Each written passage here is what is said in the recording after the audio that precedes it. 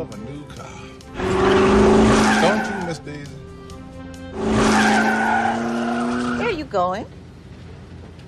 Taking it to the store, ma'am, like you said. Well, why didn't you turn on Highland Avenue?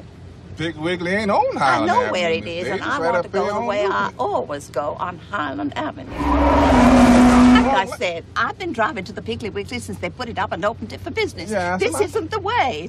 Yes, it Go is. back. Go back this minute. Miss Daisy, look, look. Yonder the picture. See? Now wait. You're you're speeding. I can see it. Oh, no, Miss Daisy, no. We're only doing about 19 miles an hour. I like to go under the speed limit. Yes.